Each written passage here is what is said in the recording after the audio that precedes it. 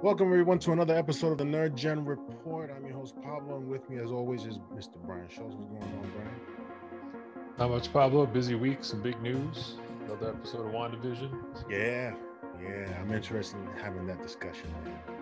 Because you last time you said when we had that discussion, you said six would be trying your your your um what was it? My patience. You, yeah, your patience. This one was trying my patience a bit until it got towards the end. Oh, first of all, we want to send out our condolences to the King family, the Larry King family, and, and, and Hank Aaron. You know, people that you grew up watching and and and you know, and they're you know they're gone. And and that's why I like doing this show because it, sort of gives you that that small little escape of the harsh realities of life, you know, and it, it just provides that moment of just getting away from it all and, and enjoying life. But um, my condolences to those and anyone who's lost anyone during this pandemic. Um, there was a recent article from the Wall Street Journal. What was the guy's name that wrote it? Um, his name Mr. R.T. Watson wrote a very, very interesting article, very detailed article. We know more than what we we kind of knew before, but this one gave us a little bit more data, more accuracy. And and the article is called Want to Be a Hollywood Player COVID and Streaming Have Changed All the Rules. And it has. And it's caused quite a bit of confusion for a lot of studios. And for some, they have been able to uh, sort of sort of figure things out and change and, uh, and, and, and be a little bit more flexible in terms of how they do things. But Warner Brothers is not one of them and a lot was said. I'm just going to ask a few questions. You guys, I'll, I'll link the link. Uh, I'll link the the article in the description below, and you guys can check it out. But I want to ask Brian some questions based on what I read, and and, and I want to get his take on, on on this article.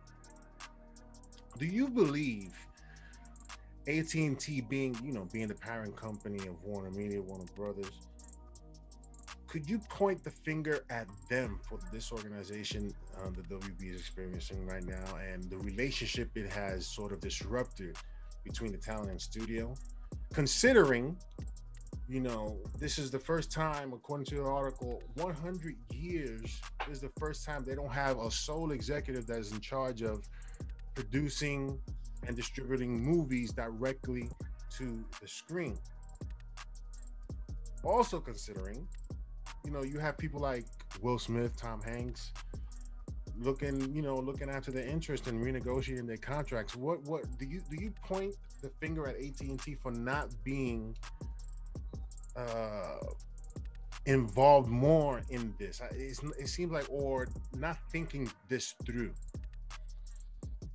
Short answer is yes. I think there's it's impossible to assign 100% of the blame to any one party but i think what you would say is and i always like the sports analogies if you see a dysfunctional franchise it starts with ownership yeah. 100% of the time there's never been an instance i can think of where you've had a tremendous owner and a terrible rank and file it, yeah. it just doesn't so if there are problems in the middle ranks and there's problems with relationships and problems on the field it's because somewhere at the top yeah. there's a breakdown in process and so i think you clear this article to me took a lot of the things we were sort of speculating about and quite honestly just were astonished at yeah. in terms of how things fell out once warner brothers moved the 2021 slate which we were like this is great but in our minds i think we were we assumed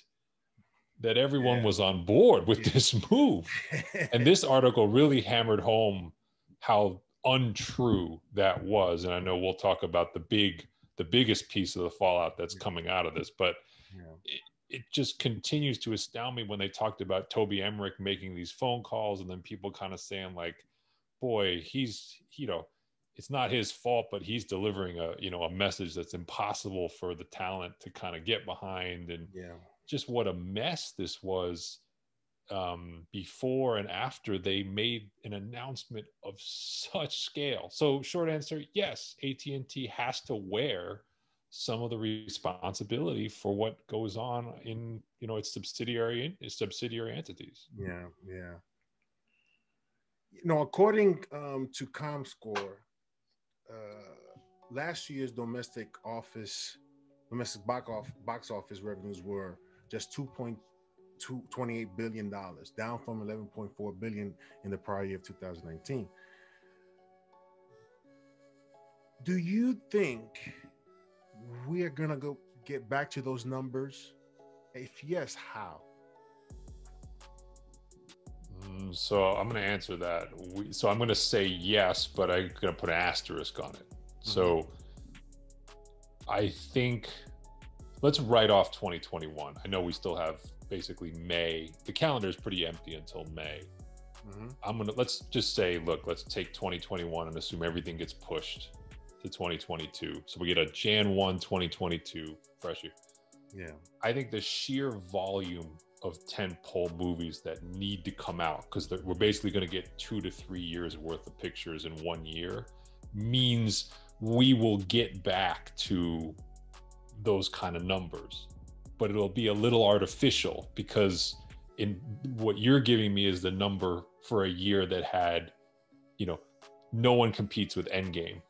No one competes with rise of skywalker right? They they clear out for those movies. And now we're going to get a year where fast and furious marvel movies dc movies godzilla they're all going to pile into the same area. So you're going to get this abnormally big box office i think for like one year but I, as far as is that sustainable probably not because the re- the future years aren't going to be as crowded so that's kind of how i see that Yeah. This year's going to be very interesting. It's going to either suggest that it can be done this way and how and however way they're doing it now, or something needs to change. Well, I mean, because listen, the hopes is on this vaccine rollout, right? But that's going pretty slow in the us Yeah, yeah. So I mean, it's good. I think, but but I think the studios have hope for that that they'll correct that, and therefore they're sticking by their dates that they have out for this year. yeah let's also be straight when i say the us it's new york and california that's really what that's 80 i think that's 80% of the box okay. office so if you can't get those two states normal and fully functional Okay. there's no there's no comparisons you can make How bad do you think it sucked for Mr. Emmerich to have to tell people that he's made deals with who respect him, who have known him for many years and have built great re- uh, a re- great relationship with them, to have to break the news to them? Well, I mean, the, the, my cynical response is, you that entire line of conversation could have been handled a lot differently. Of course. If you really had, you know, if you really had the rapport and the res- mutual respect and the long-standing relationship, you should be able to get those individuals and their agents in a room and sort of say, look, here's what we're thinking about. Here's our situation financially. We need to get some of these projects to the audience Yeah. we understand, you know,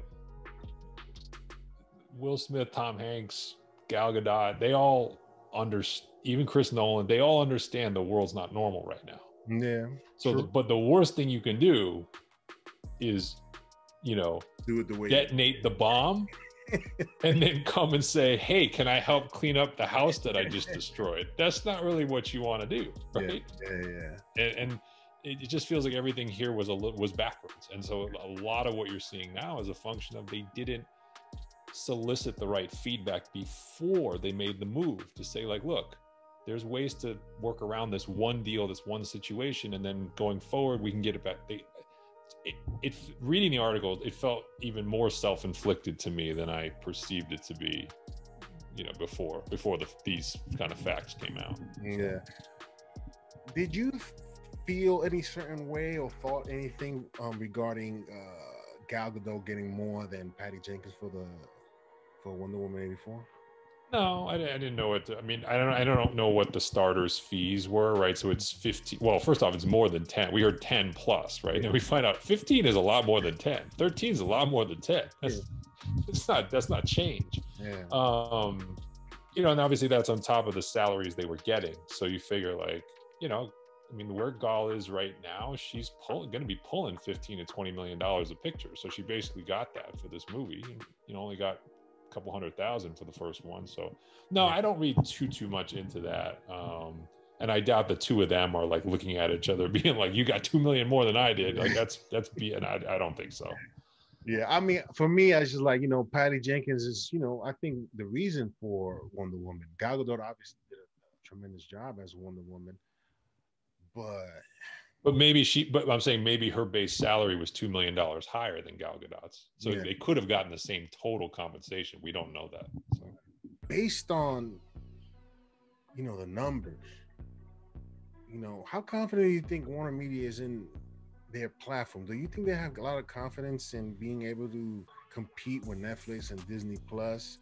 Because um, they declined to say how many subscribers actually watched. I mean, these are numbers you can pretty much they know. They know. They know the numbers. They yeah. didn't. They didn't say anything about it. Nor did they say how many new subscribers they got. So, how confident do you think is do do you think Warner Brothers or AT and T is, is confident in HBO Max to be a, a, a competition for Disney Plus and Netflix? Mm, I think there's two ways to answer that. So one is are they is the end game here to be a standalone competitor or is the end game to be as attractive an acquisition candidate as possible? Those are both and those are not opposing goals. Uh, i think i think there's real value to the catalog because hbo had real ip a lot of good television ip sopranos wire um, even shows now that you're, you know, like whether it's like Westworld or Game of Thrones, or you know, there's real, Right. Real critical mass there. And then you take Warner Brothers as a studio had assets. Now they lost one of their biggest ones as part of this, which is a real problem, but they had, you know, franchises, they had the DC universe. So I think there's enough here for them to credibly be, at least for a while, an independent entity. Now, I don't know if there's enough for them to justify charging $10 more a month than Disney but or charging as much as Netflix. But I think there's enough for them to kind of go it alone for a while. And then I do think down the road, if they if they did want to partner up with one of the other streaming services, I think they would get a nice premium for their catalog. It is certainly better than like what a Paramount could throw together, or even quite honestly what a Universal could throw together right now. So, um, so I, I do think there's real value. I just clearly something has happened. Like they just they were unable to penetrate their own customer base to get them to sign up for this. That I am surprised. I feel like if Disney had a cable channel like that, like HBO, I feel like the penetration of their subscriber base would have been way higher than the 35, 40% or whatever that that, that uh, HBO Max has been at. So hopefully it's just a slow start for them. But, but I mean, they uh, did they, they did start off by making huge mistakes and not being in, in partnership with Roku and other. Um, yes, that that did hurt you know, for sure. It's it's just like I I have I I have to ask the question: Does AT and T really care about this part of their business? Almost, it almost seems like you know at any point if this doesn't go out or, or, or, or succeed the way they they should succeed based on the IP that they have, that they'll sell this off. Well, their first priority is, uh, uh it seems like, is to sell DirecTV. That's the sinking ship they've been trying to get rid of. So they, when we talk about AT and T, let's at least acknowledge there's a lot of businesses they're dealing with. There's a cellular business, but then there's a satellite TV business that may or may not have real value that they're trying to find a buyer for. Yeah. And then there's this that they're trying to grow. So that's a lot of change yeah, yeah. Um, in a relatively short span of time. So you may be right. I mean, at the end of the day, they need cash, they need profits, they need earnings. So like they may need to monetize this asset, you know. Oh, and, wow. you know, quite honestly, someone you know, like if you handed this off to, let's say Netflix acquired the entire entity, I think we would trust in Netflix's marketing skills to kind of build the base of, of mm-hmm. this or the viewership of these shows a lot faster. But who knows? I mean, that's that feels a little ways off, to be quite honest. I don't think they'll just hand that off now because they've got so much new content coming. I think they would at least want to see what's the traction of that before they throw in the towel. Yeah, yeah, yeah. Um, while studios generally split half the ticket revenues with theaters, they keep the majority of the money generated from streaming services. Yep. And that begs me to this this, you know, you know, movie the movie theater business. And, you know, I know we have spoken at nauseum about what theaters need to do in order to sort of get us back to the theaters and just get that experience back because it can't be the same. You know, but when you talk numbers, uh, like we, the ones I just mentioned, 11.4 billion 2019, 2020, 2.28 billion. You know, the difference there is eight to nine billion dollars. That's a lot. But by 2025, you know, they expect the services combined, Disney Plus, Netflix, HBO Max, to have 1.34 billion subscribers and generated uh, 85 billion, 85 billion dollars. And like um the CEO of uh, uh of Vine Out Alternative Investment, Jim Moore, um, who invests in movies, um, he said, "This is at the end of the day, this is a business. You know, money talks. When you talk those numbers, what is it that keeps you um, interested in the in the theater aspect if they are not able to get people to come into the theaters like they used to? I mean, I just think theaters as they stand now are becoming more niche. Um, now it happens to be a niche that you and I love because it's yeah. the kind of movies that we care about. We'll continue to go to the theater, you know, post vaccine because there is a demand for that and there is a value to that. Um, and I don't think that's going to change. I, you know, I guess I, if I was to draw an analogy to like the music industry, where basically the revenue stream from selling albums dried up right over over 2030 or changed dramatically because of Napster streaming services. Yeah. But tour, but tours, the live experience became the greater profit center. Yes. But if you think about like different acts, there are incredibly talented singer songwriters whose art doesn't lend itself to a big visual spectacle, right? Like you're not going to go to Giant Stadium to watch one person with a guitar yeah. for two hours. Yeah, yeah. But you will go watch, you know, U2, you know, over and over again, or you will go watch, you know, pick Beyonce. You, there are acts who who do something beyond the music that says I need to go see them live. I don't think movies are any different, right? Like the streaming services have taken all of these genres and that used to be in the theater that are smaller budget and said, hey, you can watch them there. And you know what? The experience on your nice TV at home is kind of the same. It's not that much different. Mm-hmm, mm-hmm. Whereas Avengers Endgame, Godzilla versus Kong, our TV can be as good as it wants. Our Dolby can be as good as it wants. It's not going to replicate what we can get out of that screen yet. Now you could say maybe someday, but not yet. So I think for those movies, there is a reason to go, and I think people will go. But if, if the theaters want more than that, that's on them. They have to innovate something. Yeah. Yeah. Yeah, I agree with you 100%. Um, and I had a really interesting, so if we talk, we'll get to, I know we'll talk about um, Mr. Nolan in a few minutes, but had really interesting grapple with this idea with Tenet. And I want to talk about that when we get to Nolan because sure. it's, yeah, he's Mr. Theater. But I actually, for this particular movie, I found myself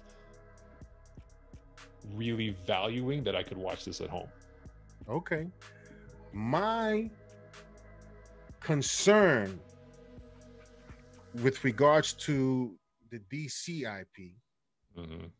is that do you think that Walter Hamada has the same sort of control as uh, Kevin Feige has over at MCU?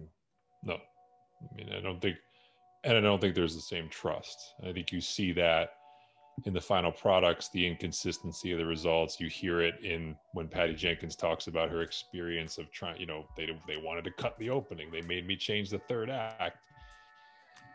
Studios are always going to have a hand, you know, like I, you know, I hate to so I'm going to invoke his name. People at home, don't worry about Harvey Weinstein. Okay, take out the personal stuff for a second. Just his style of making movies, which had, you know, took a smaller studio and had a lot of success in Miramax over the years. Mm-hmm. He was known for having a very heavy hand in editing, oversight, making filmmakers cut 10, 20 minutes out of a film. like that was his style. And it worked. It, by and large, it worked really well. So let's not pretend that a studio can't add something to the editing process. But the problem is with, you know, when you have studios where there seems like there's so many cooks in the kitchen, that rarely seems to lead to a good outcome. There has to be an alignment and a trust mm-hmm. between the filmmaker, the producer, and studio head mm-hmm. um, to really believe in a vision. Yeah. And if and it, it just has seemed with DC that it's been very inconsistent, even when they've had success. Like even when there's a movie like Joker where it felt like the studio largely got out of Todd Phillips' way and was rewarded handsomely for that. They don't seem to then take that philosophy and apply it necessarily to the next movie. So, but my, but the thing is that yeah, they have a, they're still gonna be you know making sure this happens or whatever they want to see this or they want to see that. But they're these are people who perhaps don't know these characters like you and I know them, you know, right. want them to be. And so I think that approach for characters that you know nothing about really it hurts, I guess, the experience for us knowing a little bit more than perhaps they do in terms of who these characters are, who they, what they need to do, and how this needs to go down. Instead, they're making still, you know, blanketed general movie decisions that don't apply perhaps to to this IP. So that's my concern there with with their involvement. Um somebody who has been sort of, you know, delivering each time out, saying, I'm out just because I didn't like the way you went about it. And he has every right to take his talents elsewhere. Nolan is gone from Warner Brothers. Wait, We said we said did we not say the yeah. biggest risk to what was going on was they could not afford to lose the IP that would come out of the head of somebody like Chris, and now it's happened. And, and let's like this is follow suit. Who knows? There, there are other directors who listen. The way the industry is going now, going right now, the content is is needed and they're going to look for the best people to deliver that to them listen shonda i forget her, her name shonda she, rhimes yes she left abc this is this is what i was told she left abc to go to netflix why because they wouldn't give her disney tickets Disney park tickets. They didn't want to give it to her. She asked for some tickets to take her family, and they said no. She said, "I'm out." It took only that, and and, Nolan, I don't, I don't blame Nolan for leaving. And yeah, we told you guys, listen, they can't afford, but they did this, and who knows? Think just thinking about it, who knows who may follow suit, man? Who knows? This is, yeah, this yeah. was the news of the week. I mean, we got to talk about this because Christopher Nolan is. I mean, I'm biased, but for my money, the the best filmmaker at at his peak. I mean, I know Spielberg still works and guys like that are legends, but you know, for a guy who's like at the peak of his powers in terms yeah. of talent and originality, yeah, this is the guy. They had Uh, uh, this is LeBron in 2010.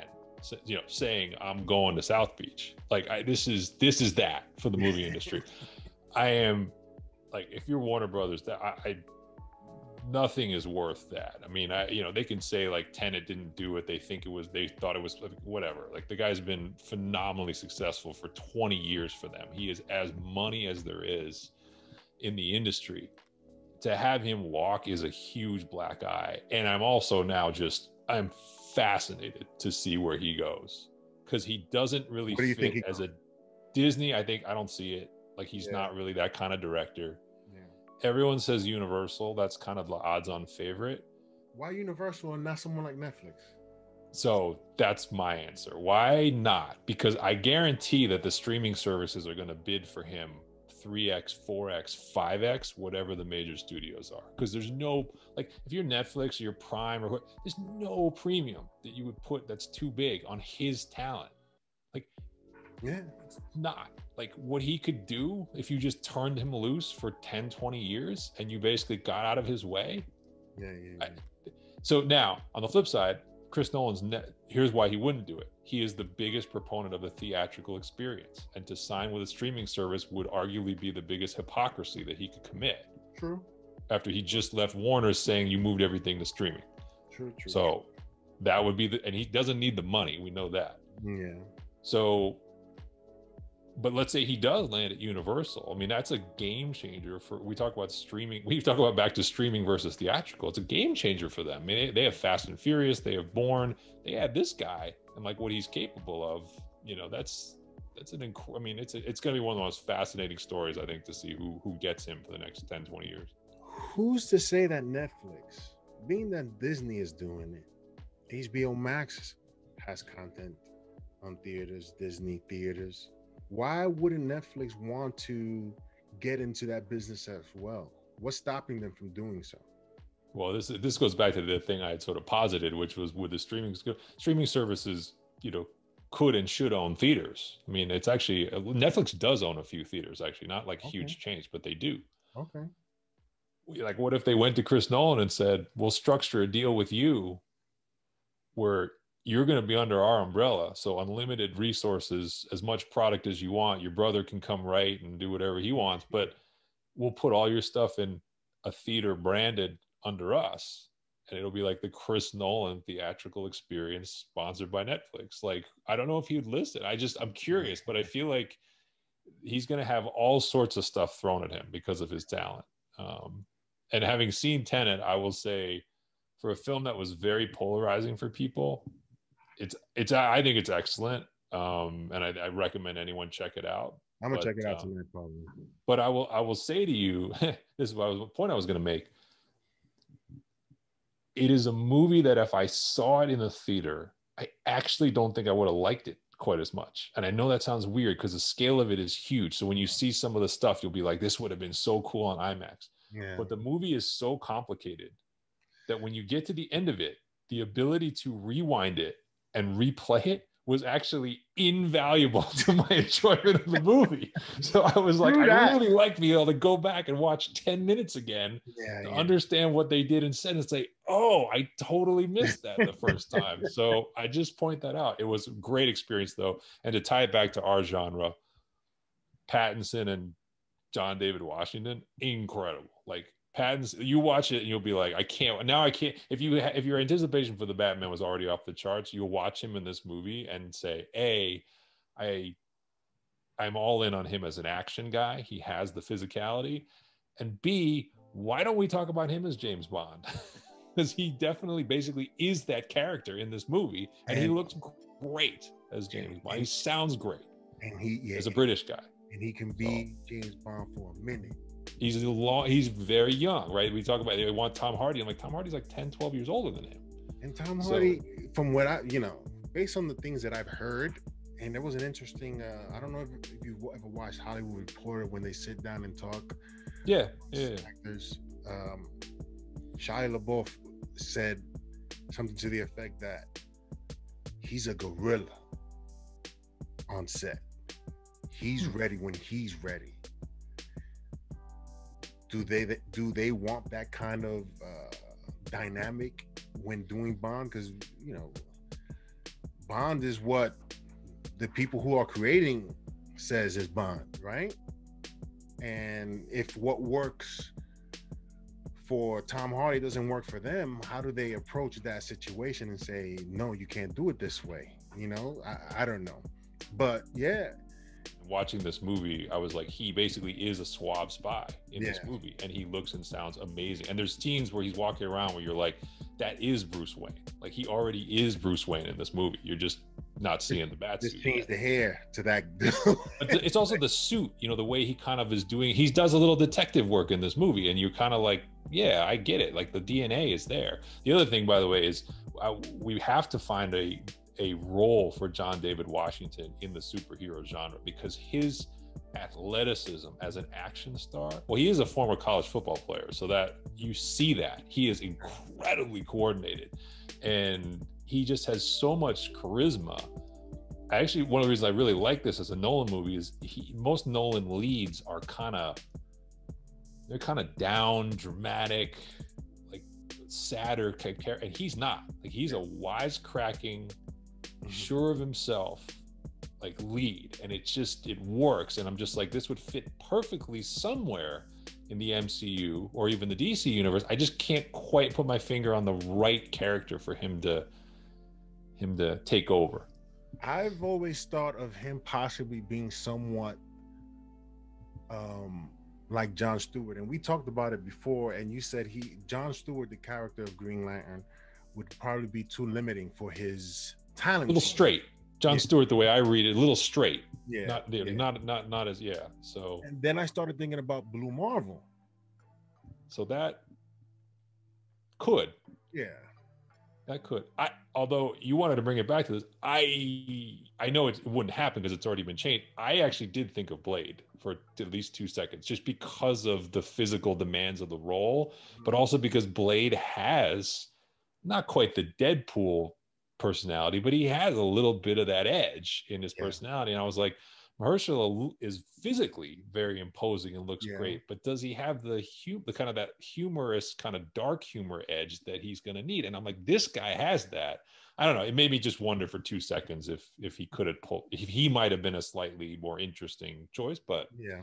you know, The not- concern, who, who knows if that, who knows, because nothing's been done with Blade.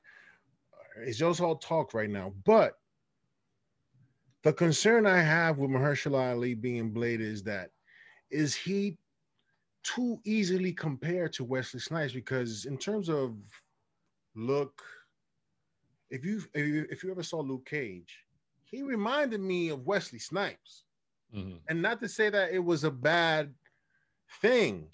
He just reminded me, and I think he did a great job, and most people would agree that he was great as Cottonmouth.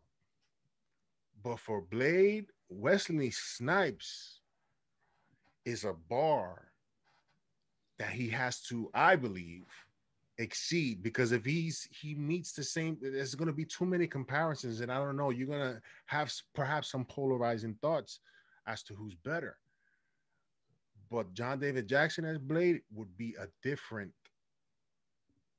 It'll be dope. It would be dope if it was him. I just, I mean, Wesley Snipes had the benefit of, you know, martial arts experience, and that really came in handy. And you could see it. He was very comfortable. I mean, obviously, he didn't do every single stunt, but he was very comfortable. They could choreograph advanced fight scenes with Mhm. him. And I watched this movie, and I was like, some of the fight scenes in this movie are incredibly hard. I mean, you you do. I mean, if you're if you know the general idea, he's basically fighting forward and reverse in time effectively, and it's incredibly difficult. I'm not quite sure how they pulled all of it off, but he's amazing at it. And he uses random tools and all sort of stuff. And you're just like, yeah, like this guy can do it. Like it's gonna be really interesting if you had a a mask and a uniform on. And I just don't quite know exactly where he would fit, but I mm-hmm. hope I hope someone will get him involved in one of these at some point. So So I, I wanted to end it off with um any thoughts with Warner Brothers, but I mean I'm I'm pretty sure you guys got the the gist of what what our take is on this article. I suggest you guys read it. It's very interesting, very detailed as to what is going on behind the scenes at AT&T and Warner Brothers. Um WandaVision. I started watching it and I was hoping for some more progress that led us away from what they were currently doing in the first two episodes. The third episode was a lot more the same, and the only time I really got interested when things started. Usually, when things aren't going well, and things are not uh, off a little bit for Wanda, is when I get interesting because of course that's uh, why we're here. Yeah, yeah. You said six last time. This one has tried my patience. I'm I'm ready to move on. Hopefully, with the if you saw WandaVision, the last scene, the the the aspect ratio changed from it's uh, I don't know the aspect ratio number for that, but it expanded to widescreen and how we're normally used to seeing TV right now. Hopefully, this is the change or, or the second the, the second act of this um, nine part episode. I mean, uh, um, series. Yeah, we, do we have official? Is it nine? I believe it's nine. Okay. I mean, they're short. You know, that's the one thing that's been getting me through these is they're short. Yeah. I mean, I'm with you. I actually found. I mean, so it was the Brady Bunch, right? So we started with Dick Van Dyke and Bewitched, and now we're doing Brady Bunch. I thought it was utterly unwatchable until the Ultron comment. Yes. Unwatchable. Like until we got to that scene, I was like, if this wasn't what I know it's going to be, I would have given up a long time ago. Yeah, like yeah. this is these these gags are dumb and I'm over them. Yeah, yeah. And now I've seen them for three episodes, so call it close to an hour of TV. Like I need something. Like I need I need I need her to her hands to start to turn red and I need him I need his forehead to light up because this is you know. But um, then you know you get that you get the scene with um, Monica. Well, I guess who were who was supposed who's going to be Monica Rambeau hasn't been named as such, mm-hmm. and then her being blown through the screen into what I assume is the real world. I think yes. that's what we saw at the end, and it gives you that hope of like, okay, maybe finally we're going to move this story along, or at least in some parallel track where it's like, all right, maybe she's inside, but then we're seeing action outside, and that's gonna that's gonna bring us toward where we where we need to be. Yeah. So, it almost feels like you're forcing me to watch something I don't want to watch.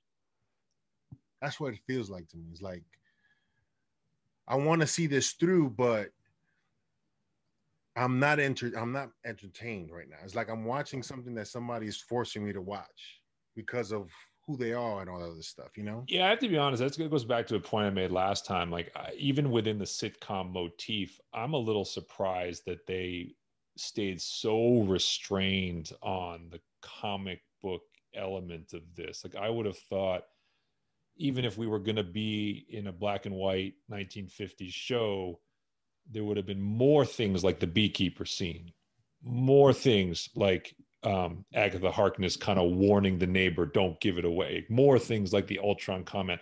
I think they could have done a lot more of that in the first three parts and yeah. still kept it inside this kind of nod to classic television. So, yeah, I would say from a scripting and storytelling perspective, the balance has felt off, and I think they they owe us a little bit. I feel like yeah. after these three, I, am hoping that if if we get a fourth episode that's similar to this, I mean, again, I'm gonna watch it, but it's like I don't want to watch this, but I'm gonna watch it. I assume we're gonna be in the 80s, right? Next yeah. time. I mean, we've done 50s, 60s, 70s. True. So I'm assuming like I don't know if we're getting family ties or what, but like I assume we're gonna get something something yeah. from the 80s. Yeah, I hope I hope we get something um that picks up the pace a little bit into what's going on. And uh I just I, I'm just over it a little bit. Um so yeah, that's WandaVision. That's our take on WandaVision. Um, let's get to GVK. You know how people was talking BVS, GVK, Godzilla versus Kong. Listen, when I saw the poster and you see the city and you see how big these dudes are, you're like, how is anyone really gonna? like there's to be total destruction.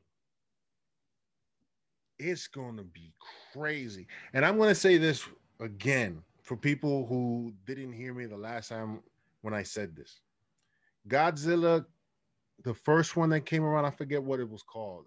It Godzilla. Was, It was, was called Godzilla. Godzilla, and then Yeah. this, the next one was called uh, King of the Monsters. King of the Monsters. Mhm. Those are the best Godzillas I've ever seen.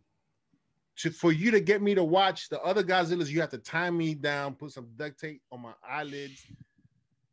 Those are unwatchable for me. But as a kid, fantastic. As a grown dude, no. But this is going to be crazy. I started thinking about, yo, how is King Kong really going to fight this dude? How is he going to beat him? I don't know if he can, but it's going to be interesting to see how they are able to pull that off. It can be some weak stuff. It got to be something very. I don't know. I don't. I just don't know how he beats Godzilla. But how excited are you? I mean, and they also showed some pieces of like some footage, right? Like two Yeah. or three second pieces. Where, Yeah, we'll get the trailer yeah, late, you know, Sunday. But Exactly. uh, yeah, look, I it was interesting to me when the second one, you know, came out and like the review, you know, the reviews for the first one were quite good, and then the reviews for the second one were not that good. And I loved it. right, but my point is like, do we really even need reviews for a movie like this? like Yeah, this ain't like- that hard, right? Like Yeah, if you, yeah. you either you either like this kind of movie or you don't. Oh, you don't. Exactly. not, th- these movies aren't going to sell you that like if you don't like monsters on screen, you know, in, in a in a death match or in sort of a, you know, then, then great. Like that's not for you. But if you do, like if you have any affinity for you know old monster movies or of that nature, which you know I do, I know you do. It's like this is the this is what we waited for our whole lives. It's like this is what you know 1933 King Kong and Ray Harryhausen could only dream of from an effects perspective, you know. And so just to see those snippets of those two head to head, like I take my money. Like I don't care. Yeah. Like, you know, I, I'm ready. This is the kind of movie also that I feel like I'm. I will be very happy when it's on TV to pop in for five to ten minutes and be like, "Oh, that fight's coming up. I'll watch that for the twenty seventh time. No problem. No problem." Hells yeah, hells yeah. Um, I, I'm interested in this question. I mean, we're both ready to see King Kong versus Godzilla. We're, we're gonna see it. Um, does it come out in the theaters at the same time as uh, HBO Max? Yeah, so this is interesting. They moved this one up.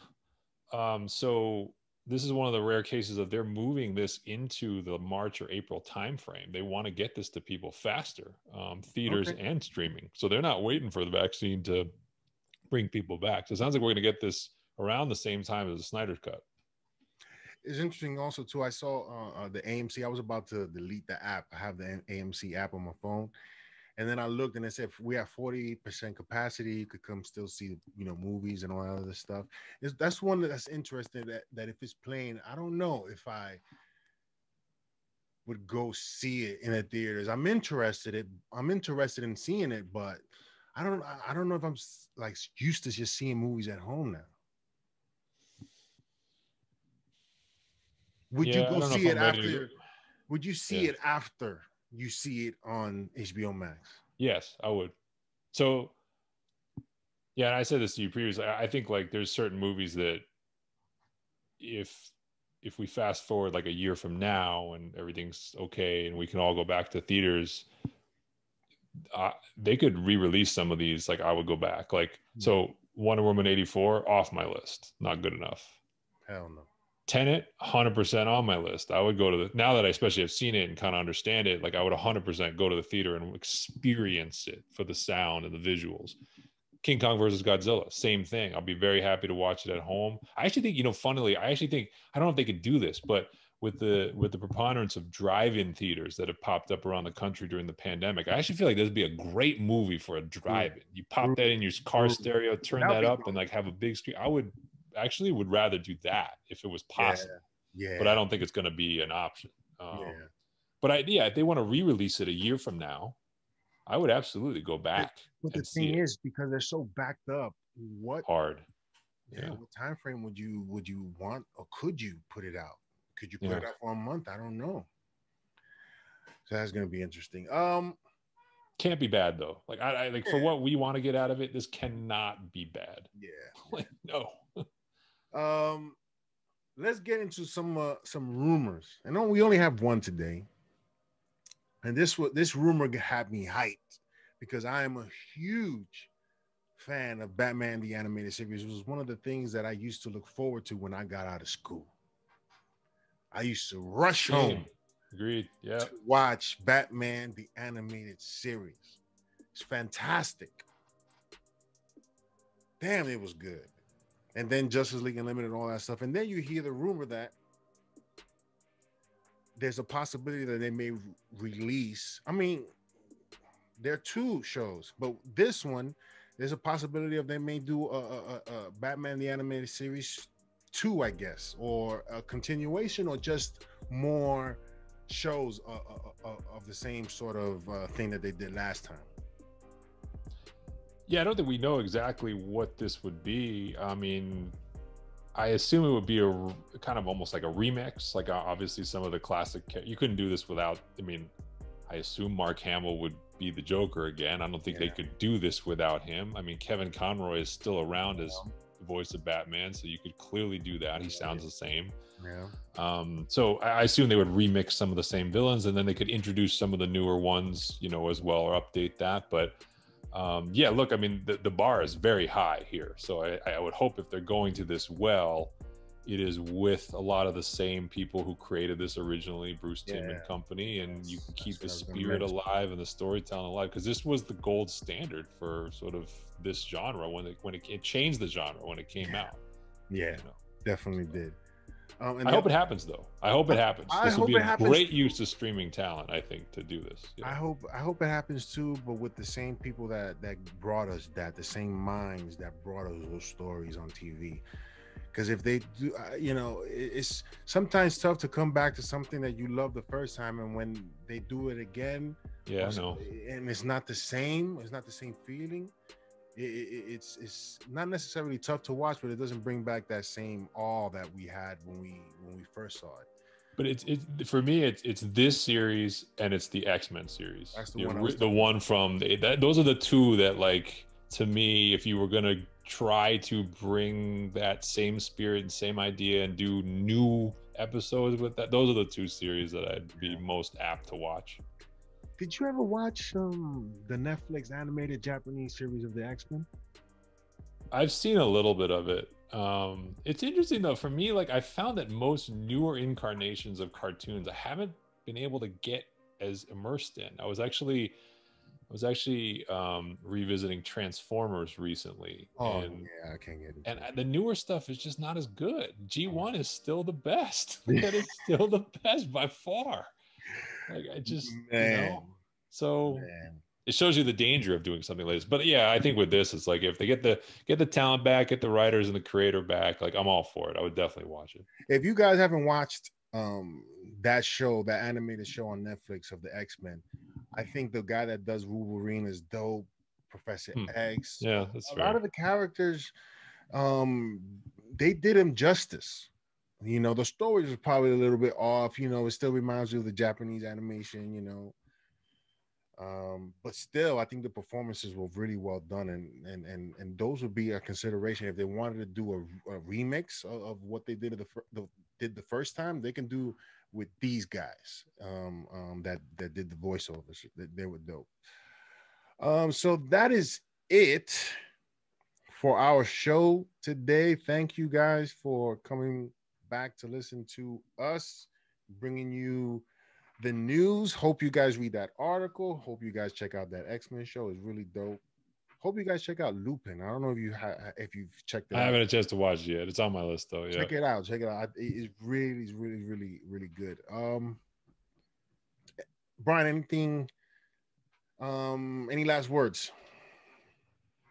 No, like I said, I think I'm I'm fascinated with the Chris Nolan saga. That's my biggest thing, and it'll take a while, I think, to shake out. But I just I can't wait to find out where he goes and, and what that means for the kind of movies that he puts out. And then, like you said, I think we've vented our frustrations with WandaVision, so hopefully we're on the cusp of getting to getting to the meat on the bone here, because I think it's three episodes have been enough. Enough of this. Uh, enough of this dancing around the old uh, the old comedies. Yeah, I agree with you, man. Thank you once again. Please hit that like button, hit that subscribe button, hit that notification bell, comment in the comment section below, share it with your friends, people who like this genre but don't know what's going on. Get their quick fixes with um, other YouTubers who give you what's going on, but they don't really go into it like we do, I think. Um, so that I always enjoy these discussions, and I hope you guys too. Um, and thank you for joining us, joining us, and um, have a good night, have a good day, and good morning.